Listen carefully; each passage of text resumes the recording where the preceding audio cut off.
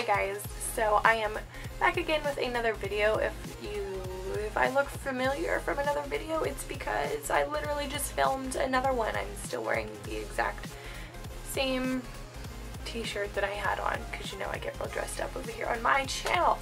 But anyway, that's not the point. The point is, as I was filming my other video and trying to get my look decent enough to put upon the internet for you guys, um, I noticed that my eye was really bothering me and the more I investigated, the more I discovered that I think I'm getting the beginning of a sty or something of that nature and it just got me thinking like I really need to sanitize, clean not only my brushes but my makeup as well because I don't want this to stick around, the sty or whatever is happening and I wanted to heal up really quickly.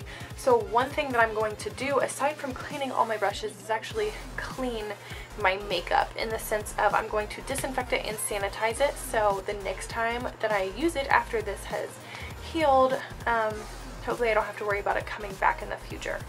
Um, so it's super simple to sanitize your makeup. It's not this big in-depth process. So the way that I go about sanitizing my makeup isn't anything crazy. I literally just use, uh, I don't have the bottle here with me, but anyway, I just use the isopropyl, isopropyl, isop I don't know. Anyway, it's rubbing alcohol. I should know that I'm a nurse, but anyway, it's just rubbing alcohol. Okay, so um, I've heard a lot of misconceptions about using or sanitizing makeup and using anything wet on eyeshadows and that's what I'm going to be showing you today is just my favorite eyeshadow palette right here I just kind of threw this little guy together. Can you see what uh, shades are my favorite? Literally neutral browns and burgundy. It's like my favorite. Go to every day. Love it, need it, gotta have it.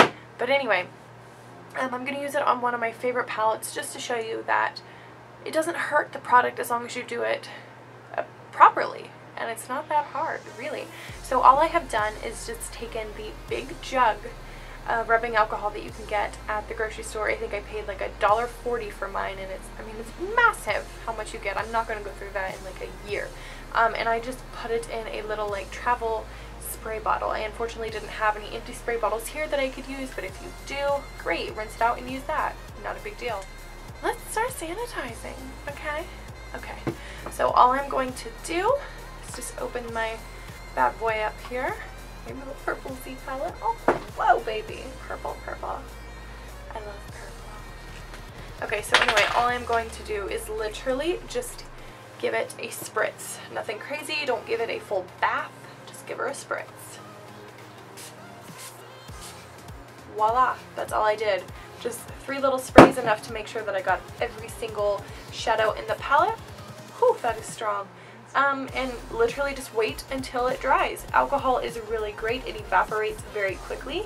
So there's almost no wait time um, before you're allowed to technically use it again before the eyeshadow is nice and dry. Like I said, I'd at least give it, I don't know, 30 seconds or so.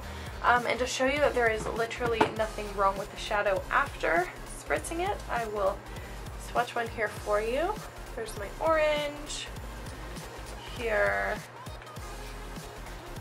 is burgundy right there. It's actually Deep Damson. Um, but anyway, yeah, there's nothing wrong with the product and it has literally been cleansed and sanitized.